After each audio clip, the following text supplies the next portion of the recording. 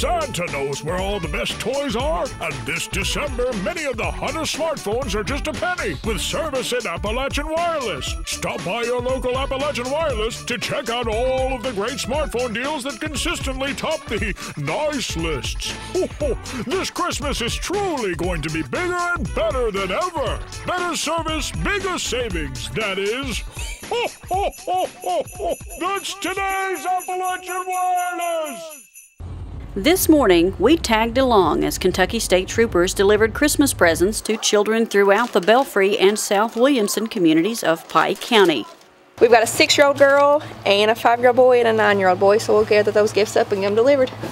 Nearly 1,000 toys were collected through recent toy drives throughout the area, and although the troopers were the ones going door to door making the deliveries, they know it took an entire community to make it happen.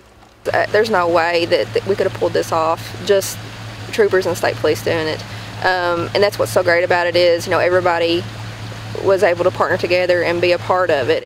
And a big part of this project were several students from Belfry High School's Honor Society who wrapped the presents and even helped make some of the deliveries this morning. Um, that really took the burden off of us of trying to sort them and wrap them, and you know that's great to be able to get the high school students, you know, the kids who are getting ready to enter college, and then eventually, in a few years, enter the workforce to be able to be a part of that. And I'm sure that's something that they'll remember. One Stop in particular rerouted the Belfry students this morning when they decided to put a little extra effort into one family's Christmas.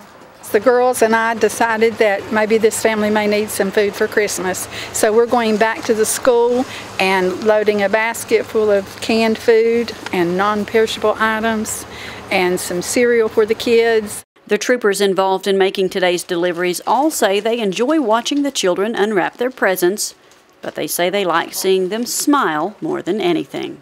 Most times if if they've had contact with police, they've been involved in a collision or something not good has happened to them.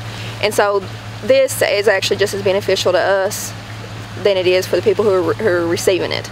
Today, five different groups of troopers delivered gifts to more than 75 children across Post 9's five county area. Reporting from South Williamson for EKB News, I'm Shannon Deskins.